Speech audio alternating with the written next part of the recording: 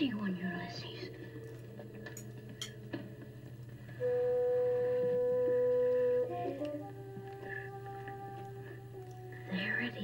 Hello BookTube, I'm Shawn the Book Maniac. Welcome back to my channel. Here I am with the Try a Chapter tag, which was originally created by Book Paradise. I'll put the link to the original video in the show notes.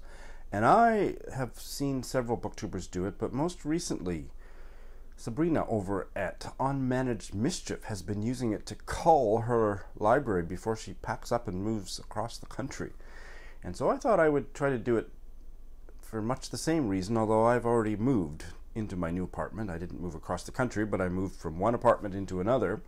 And I should have started doing this before, would have saved some of my friends some of their strain, back strain, and maybe would have saved some of my friendships. I also thought that my page 112 tag would work really well for culling books that I actually am not interested in reading. It would be much more ruthless one page. You get one page to impress me. If I'm not impressed by page 112, the book's gone.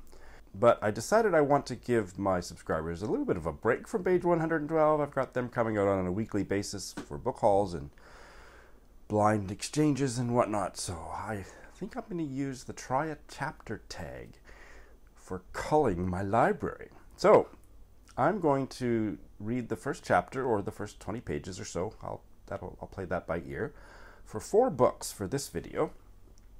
And let me show you what they are.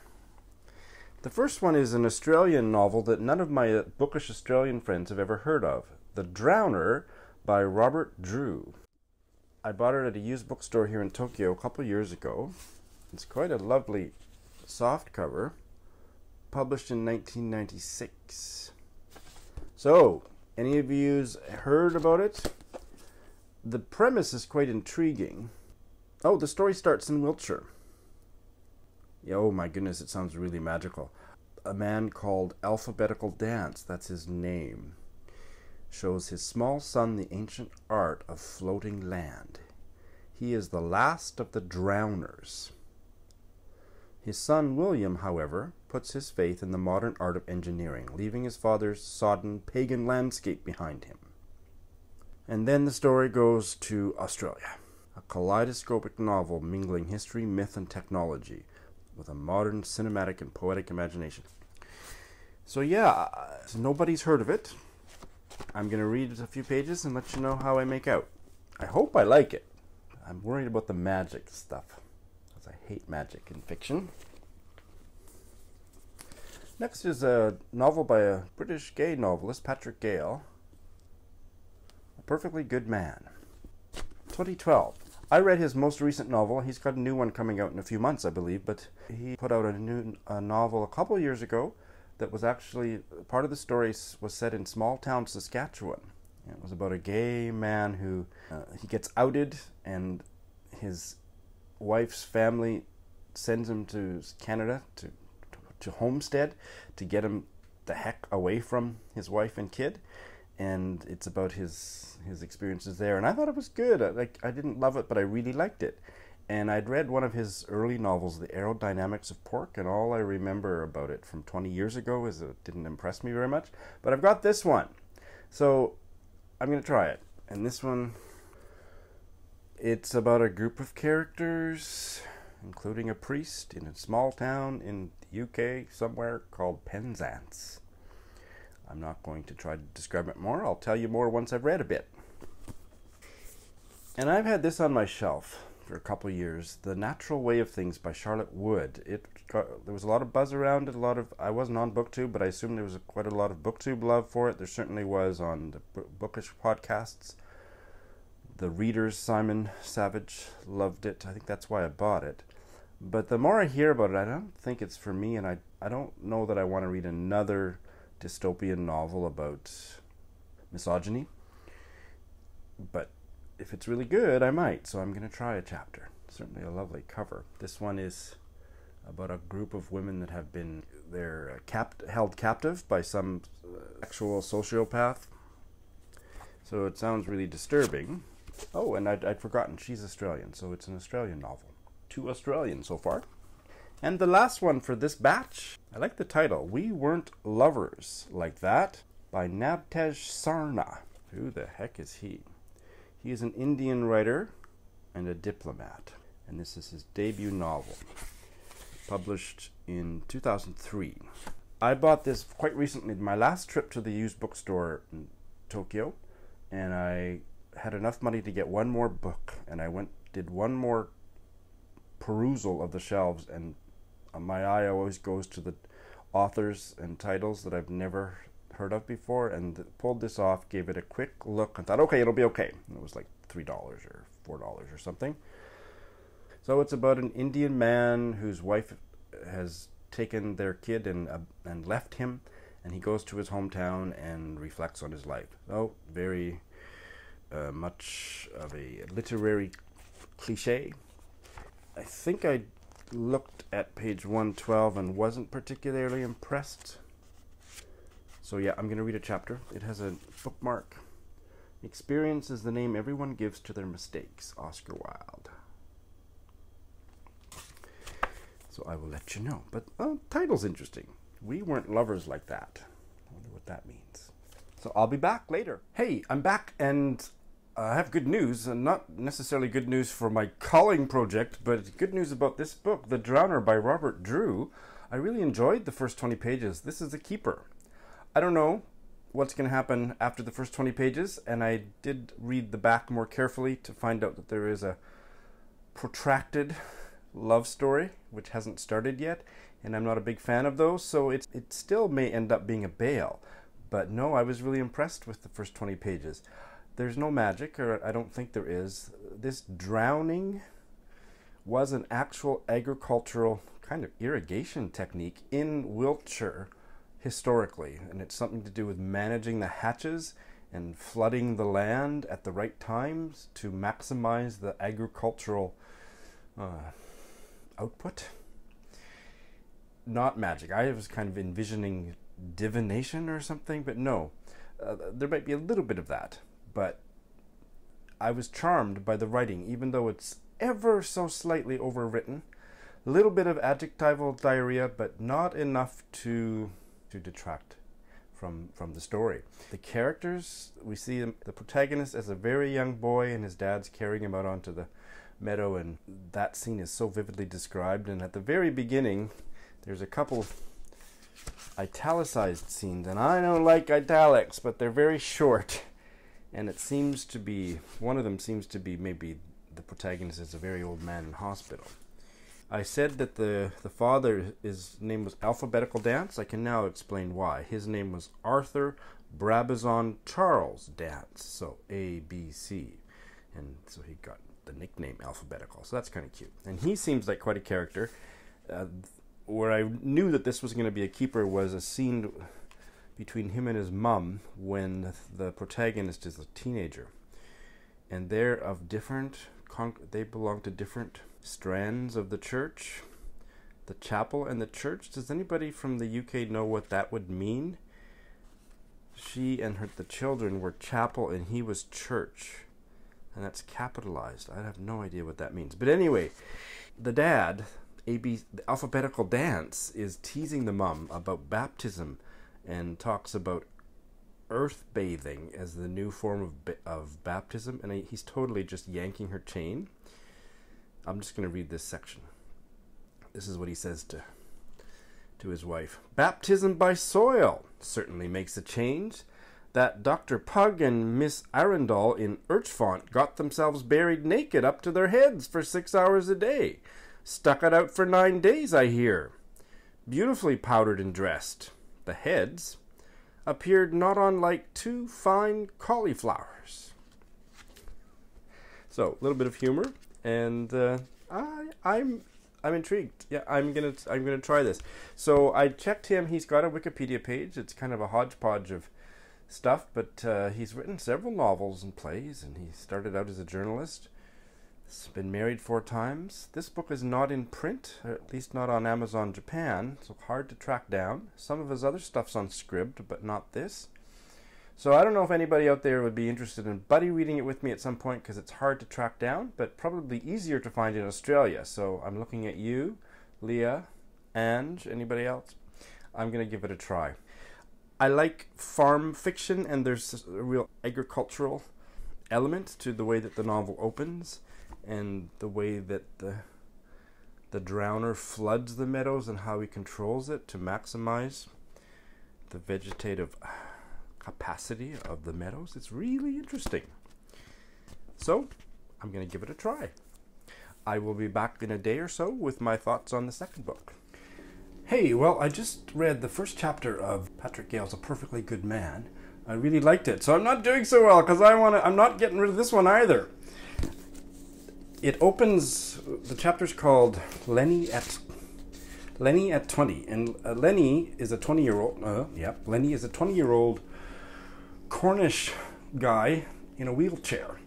And he has just moved out of his mum's and living in a very wheelchair accessible kind of subsidized apartment and he really likes the apartment so it's kind of a shock because he's just moved in that within a few pages and i'm not telling you anything that's not on the back cover he that he's planning to end his life and probably that very day I don't know when. He, there's several references to the accident that caused him to be a paraplegic, but I don't know how far and how long ago it was. It doesn't sound like it was really recent, but he's writing letters to his ex fiancee and his mother. And then again, we soon find out that he's planning to kill himself using what's the name of that drug? It's a powerful barbiturate. Barbiturate Nembutal. And he does this elaborate test to make sure, because he got it through the black market, to make sure that it's actually not fake. And he does this little test tube thing, and it, and it turns out positive, and he's so happy. So it's really dark and really compelling, and he seems like a really nice guy. And it's like, what, what, what, what, what, what, what? And I like reading fiction with disabled characters because there ain't much out there so I hope it doesn't end up being successful. I know a little bit more having read to the end of the first chapter than I will tell you, just because even though it's first chapter, I don't want to spoil things. But I was really attached to him, so I hope something happens that he doesn't. He ends up meeting his priest, and the priest, Barnaby, is uh, going to end up becoming one of the main characters. I found the conversation between them because basically he wants somebody to be there with him while he does it and the conversation I thought was a little bit stilted, not quite believable, but not enough to make me decide not to read the book because I thought the writing was really great. And the details about living as a disabled person I thought were really acute observations. For example, I'll just read you these couple sentences. He's out wheeling around along the shoreline, there's a summer festival, and he's eating chips French fries, chips. He had learnt the hard way that seagulls registered the wheelchair rather than the adult in it and read him as an overgrown and helpless child, easy to plunder. He had lost the best part of a pastry and suffered a nasty peck to the back of one hand before he learnt to eat with his food tucked beneath a jacket or coat. Lots of little details like that that I thought, yeah, this is this really I sank right into it. So yeah, I'm going to give it a try. Also, I'm the fact that it's set in Cornwall. I'm I don't know I know almost nothing about Cornwall, but I'm deeply fascinated by it. From uh, uh what's Wenwer Mears uh, Booker nominated novel that was set in Cornwall. A couple the the maze, the the wake, the the water, the many, the many uh, set in Cornwall, and even before that, it was in Wolf Hall, where reference was made to Cornwall Cornish uprisings, even during the reign of Henry VIII. And uh, it seemed to me like Cornwall's kind of like the Quebec of Britain. So anything that's set in Cornwall gets my interest. So yeah, this one's a keeper. Hey, so it's about 5:30 in the morning, and I woke up about an hour ago, wide awake, and read some more. What a beautiful, calm morning. I'm just discovering my neighborhood. And anyway, I'm here to tell you about The Natural Way of Things by Charlotte Wood. Again, maybe more than the first two, I am completely smitten by this the opening chapters of this novel. I really thought this would be the one that I would cull and dispense with. I guess I just didn't remember. You know the way that the, the way that my memory of the buzz kind of grew stale in my mind but no. The writing here is, is absolutely gorgeous prose. And it's a really dark story. I said it before dystopian but dystopian isn't right. It's it's just a really dark misogynistic story about uh, a man or a group of men that abduct women and keep them as sex slaves or something like that.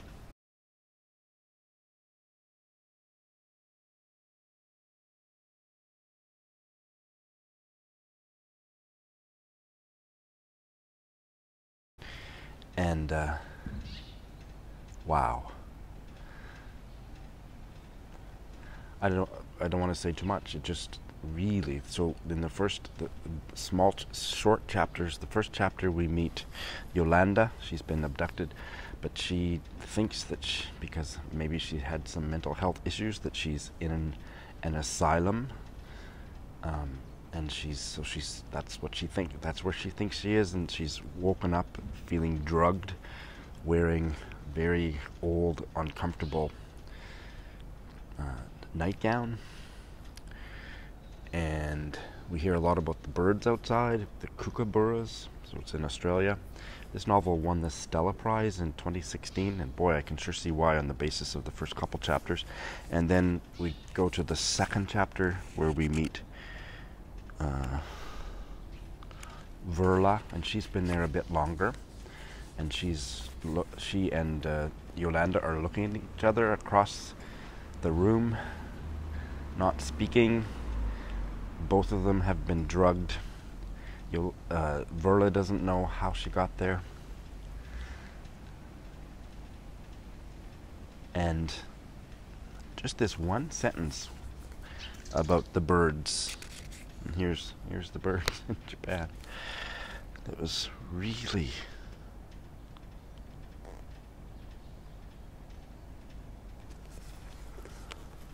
they don't know where they are. Okay? They're both drugged. And Verla, this is Verla's perspective.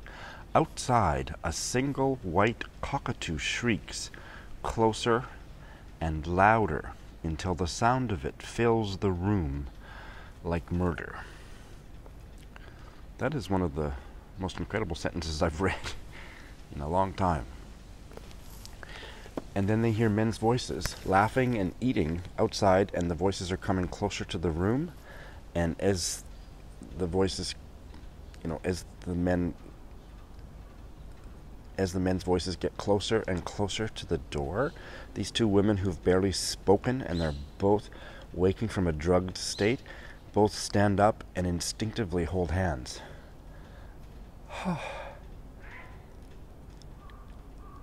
And i mean it's the second chapter so i'll just say that um, young kind of pothead guy comes in. He looks normal and seems friendly and seems half stoned, uh, and says, asks them how they feel, and then his friend comes in, and the chapter ends where the other guy says to the women, "All right, who wants to go first? Really powerful. I think I have to start this book immediately. Hey again. Okay, well, I have now previewed the fourth book, We Weren't Lovers Like That, by Navtej Sarna. And this is going to be the odd man out. It wasn't horrible, but it didn't grab my interest by the first 10 pages, and I decided not to read further. I did kind of flip around and read a paragraph here and a paragraph there afterwards, but it didn't grip me, and I just thought there's so much incredible Indian fiction that I want to read. And if this hasn't grabbed me from the get go, and it's got a 3.5 star rating on Goodreads, and it's a debut novel, and it just seems like, you know, it's about a man whose wife dumps him after 14 years of marriage, and he goes back to his rinky-dink, poor little poor hometown in India to uh, remember things past and put his life back together. It's like, yeah, it's been done. It's been done, and uh, I'm no, I'm not going to. So that's all I'm going to say because brilliant title. I'll give it that much. The writing was not horrible and would probably appeal to many of yous, but it didn't grab me the way the other three books did. I love the epigraph, so my single biggest regret about this book is that I can't do the epigraph tag. Listen to this. It's an anonymous poem. I regret picking and not picking violets. Isn't that fantastic? So, great title, great epigraph. The rest, not so much. I have had a blast doing this tag. I think that I've mistitled it the book on haul edition or the book on haul version because I only unhauled one little book out of the four. I think I should call it, and maybe henceforth we'll call it the Rekindle version. Not the Kindle version, the Rekindle. Because it's rekindled my interest and deepened my interest in these three books. Robert Drewe's The Drowner. Patrick Gale's A Perfectly Good Man. And most of, most of all, Charlotte Wood's The Natural Way of Things. I'm really looking forward to giving these a, a try. This will be my first, this will be the first one. This would be the second in terms of the ones I'd most likely to pick up soonest, and this would be the third, but I'm very intrigued to read all of them.